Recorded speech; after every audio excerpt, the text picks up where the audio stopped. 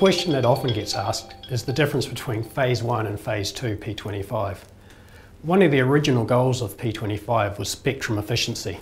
The radio spectrum is a limited resource. There are only so many radio channels that can be licensed in a given area. Analog FM channels used to be 25 kHz wide. As the spectrum became more full, narrowband channels were introduced. These were 12.5 kHz wide and doubled the amount of spectrum available, so long as everyone migrated away from wideband channels.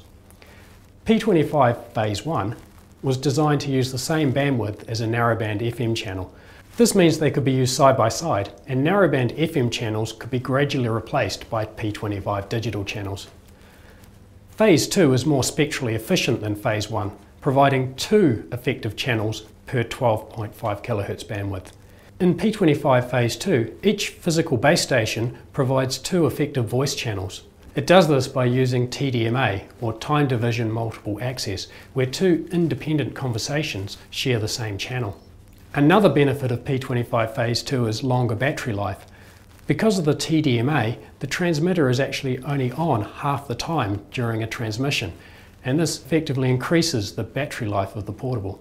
Phase 2 is backwards compatible with Phase 1 radios, so this allows a new Phase 2 radio to still operate with users of Phase 1 P25 equipment and to operate on Phase 1 network equipment.